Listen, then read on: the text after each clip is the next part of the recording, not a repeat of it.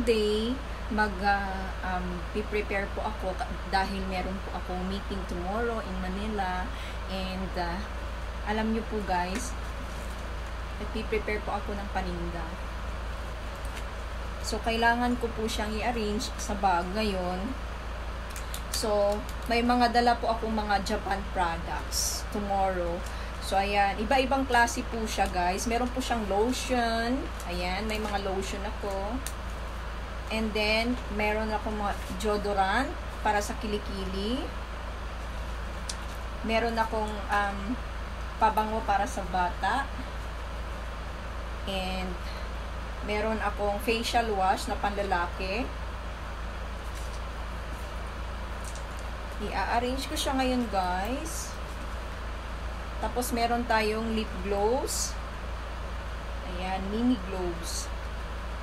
So, ina-arrange ko siya. Meron akong uh, collagen. Ayan, meron tayong pang diet support. Ayan, guys. So, meron din tayong collagen na pang um, matagalan. Pang how many, ano to? Ah, 60, pang 2 months na to. Okay, so, pang 2 months na gin. So, may mga order po kasi sa aking collagen. May mga set of lip, lip glows. So, i-arrange ko siya ng maayos para hindi siya masira. Ma-damage.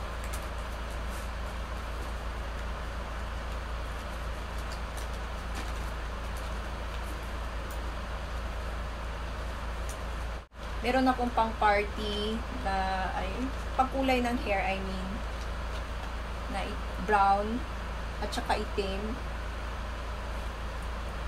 so meron akong mga lip tint so ayan kung sinong gusto ng lip tint guys tatlong kulay siya orange, red at saka purple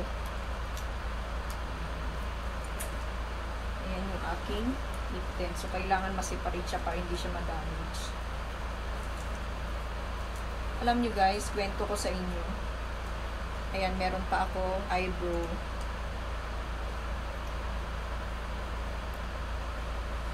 Alam nyo, kwento ko sa inyo. Ganito talaga yung ano, ganito talaga yung mga single mom. So, kailangang mabuhay. So, we need to uh, sell products.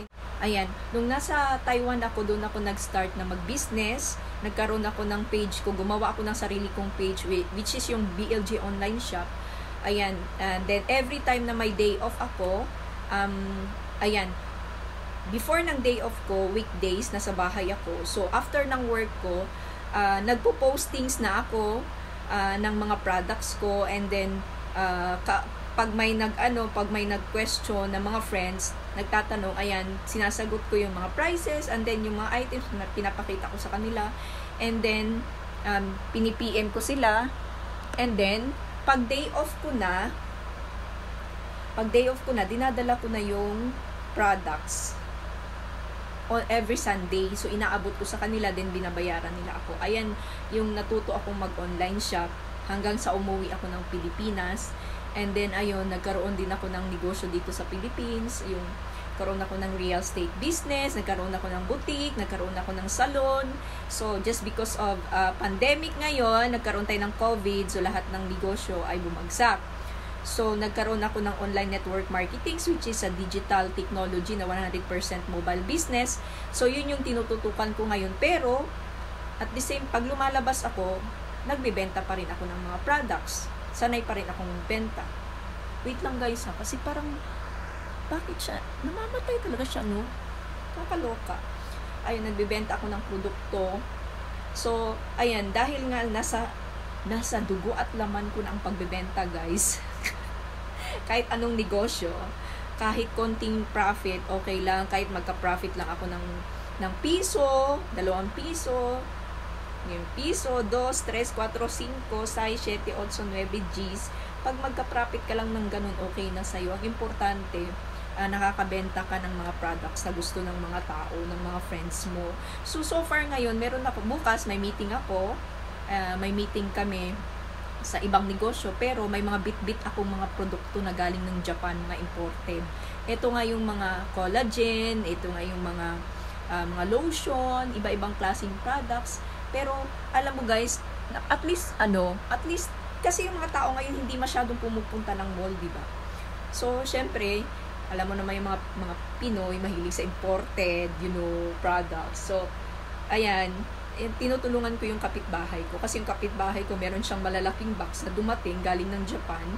So, of course, kailangan ko ding magbenta para makumita ng kumita ng pera. So, kailangan ko din 'yon. So, although na medyo okay yung earnings ko sa ibang digital business, digital technology business, pero sorry. Ay, may bumabanggit sa akin, charot. Ayan guys, bit-bit ko yung mga produkto. Ayan, bukas, para at least meron akong additional earnings, additional income. So, ayan guys, sinishare ko sa inyo ganyan ako kasipag.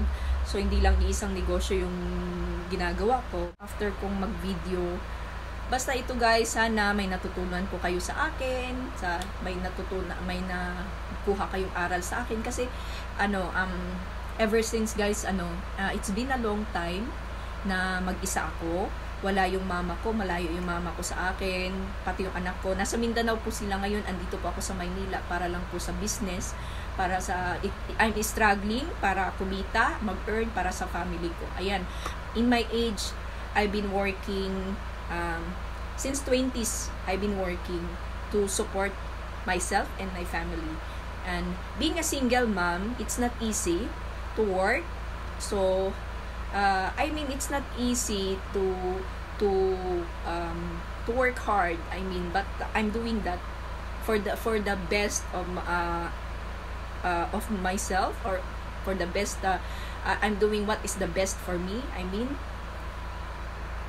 Ayan. So at least alam nyo guys na ganun talaga So, ganun talaga, um, mag-isa ako lagi. Ayan, hindi lang naman ako, hindi lang naman ako, meron din ako mga friends na mga single mom. So, most of my friends are single mom, marami kami. So, iba-ibang mga, ano, iba-ibang diskarte, kanya-kanyang diskarte, marami kami, kanya-kanyang negosyo.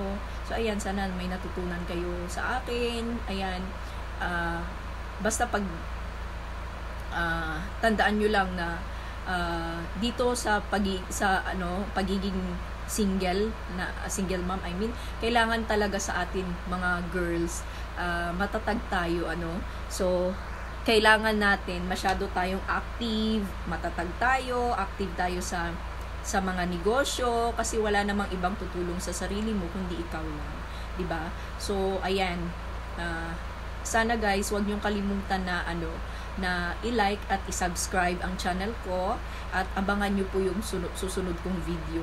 So, I hope na you enjoy watching me, uh, sharing my life with you. And thank you very much for listening to me, guys. Thank you very much. So, ayan nga po, ano, I'm, uh, I'm, I'm already, sorry, I'm already prepared for tomorrow. Bye-bye po. See you on my next video. Bye!